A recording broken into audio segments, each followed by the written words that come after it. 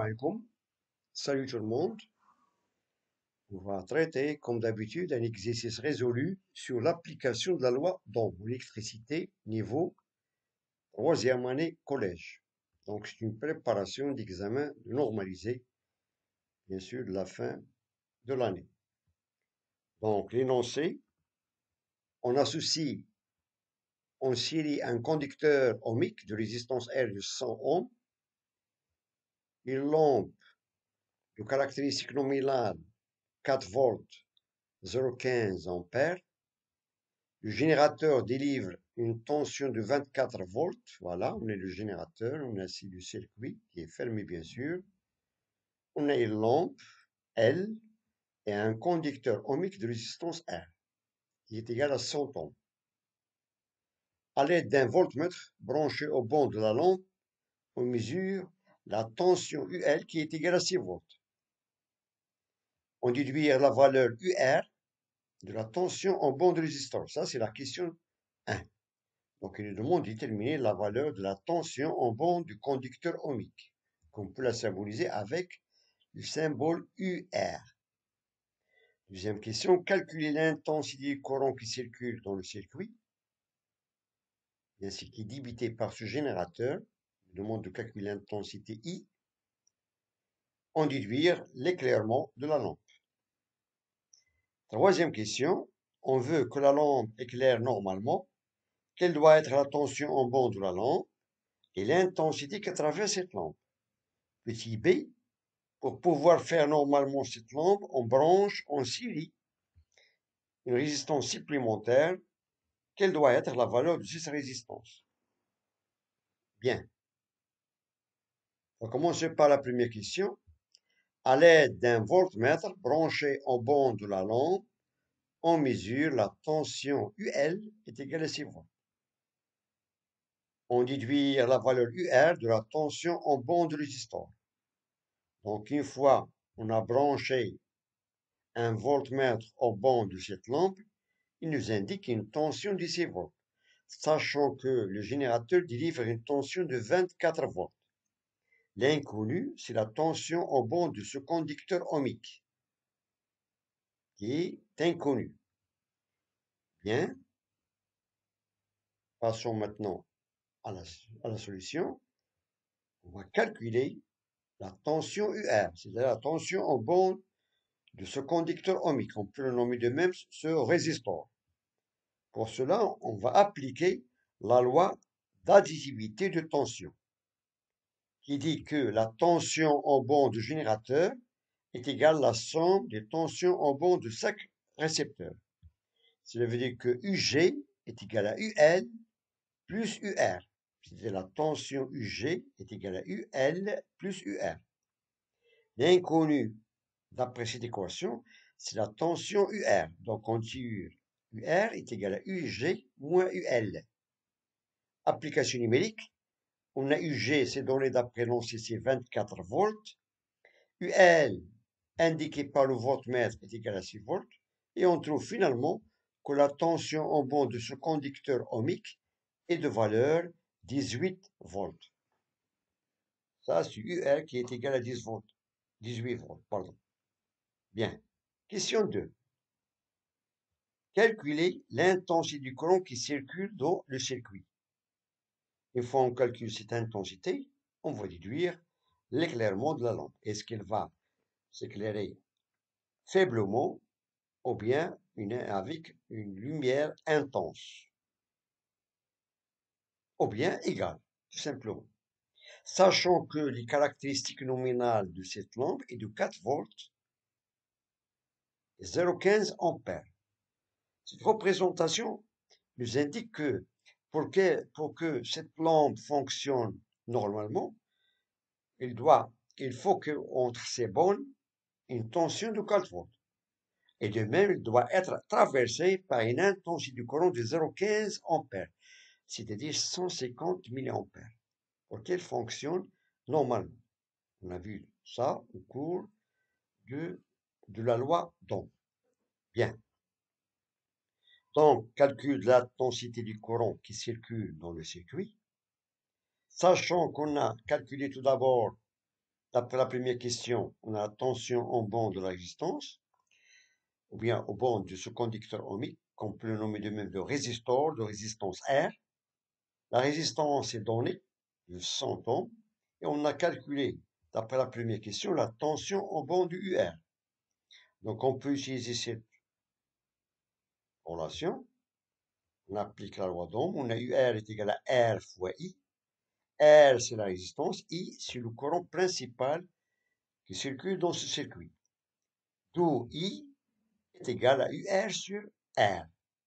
Application numérique. On a UR, c'est déjà calculé d'après la première question, qui est égal à 18 volts.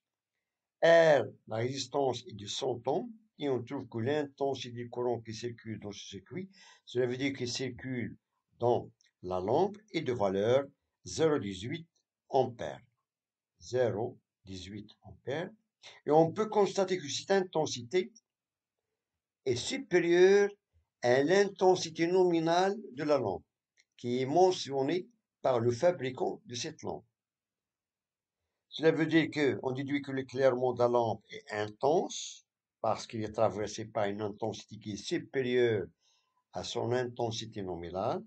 Voilà, ça, car on a I est supérieur à I, c'est-à-dire l'intensité de fonctionnement qui est égale à 0,15 ampères. Passons maintenant à la question suivante, question 3. On veut que la lampe éclaire normalement. Quelle doit être la tension en bord de la lampe et l'intensité qui traverse cette lampe? Bien. Donc, pour trouver la tension au bord de cette lampe, ou bien pour que la lampe éclaire normalement, on doit respecter les caractéristiques nominales qui sont données par le fabricant. Cela veut dire, dans ce cas, pour que la lampe éclaire normalement, il faut respecter ces caractéristiques nominales, c'est-à-dire 4 volts et 0,15 ampères. Cela veut dire que cette lampe doit être, doit fonctionner sous une tension de 4 volts et doit être traversée par une intensité de 0,15 ampères. Voilà, c'est-à-dire que la tension entre ces bandes doit être UL est égal à 4 volts et U est égal à 0,15 ampères pour qu'il fonctionne normalement. Passons maintenant à la question suivante, c'est la deuxième partie de la question 3. Petit b. Donc, question petit b. Pour pouvoir faire normalement cette lampe, on branche en série une résistance supplémentaire, quelle doit être la valeur de cette résistance? Donc, on doit ajouter une autre résistance, qu'on peut la noter, ou bien un autre conducteur ohmique de résistance R', en série avec la lampe R, pour que cette lampe fonctionne normalement. Bien. Donc, la valeur de la résistance ajoutée, voilà, en appliquant la loi d'activité de tension, dans ce cas, on aura UG est égal à UR' plus UL plus UR. Donc, on a ici trois éléments qui sont en montée en. Donc, pour que cette lampe fonctionne normalement, on doit respecter ces, c'est-à-dire ces indications, ou bien cette intensité qui est nominale, c'est-à-dire qu'il faut que dans le circuit, il y a circulation d'un courant d'intensité 0,15 ampères au lieu de 0,18 ampères d'après la première question. Bien. Donc, pour que la lampe fonctionne normalement, il faut que l'intensité du courant qui circule est la même que, l'intensité nominale de la lampe qui est égale à 0,15 ampères. Étant donné que dans ce cas, on a la tension qui est délivrée par le générateur est donnée, 24 volts, et pour que la lampe fonctionne normalement, il faut que entre ces bornes, il y ait une tension de 4 volts. Donc, ces deux valeurs sont connues. Et il nous reste tout simplement de, d'égaliser, c'est-à-dire UG avec UL, UG-UL avec UL'. Et on tire d'après cette équation, on aura UG moins UL est égal à UR' plus UR. Bien, on a UR' plus UR est égal à 24 moins 4. C'est-à-dire, on a ici 24 volts moins 4 qui est égal à 20 volts. Cela veut dire que la tension au bord de ces deux résistors, au bout de ces deux conducteurs ohmiques, doit être 20 volts. Bien. Voilà. Étant donné qu'on a UR, c'est déjà connu. On a UR est égal à 100. Et l'intensité qui circule, d'après la loi d'Ohm, c'est 0,15. Il faut que la tension en bande de ce conducteur ohmique doit être égale à 15 volts. Il nous reste tout simplement, lorsqu'on ajoute cette résistance supplémentaire, il faut qu'entre ces deux, entre ces bornes, il y ait une tension de 5 volts. Donc on a ici UL' est égal à 5 volts. Voilà. La résistance qu'on a ajoutée, elle est inconnue, mais le courant, l'intensité du courant est connue. Et on peut calculer, c'est-à-dire cette résistance R' en appliquant la relation R' est égal à UR' sur I. Voilà, d'où on a UR' est égal à 5, I c'est 0,15 et on trouve que cette résistance qu'on doit ajouter dans ce circuit est de valeur 33,33 ohms. Donc on doit ajouter à ce circuit une résistance supplémentaire qui doit être en série pour que cette lampe fonctionne normalement et pour respecter ses caractéristiques nominales. C'est-à-dire, il faut que entre ces deux bornes, il y ait une tension de 4 volts. Elle doit être traversée par une intensité de 0,15 ampères. Bien.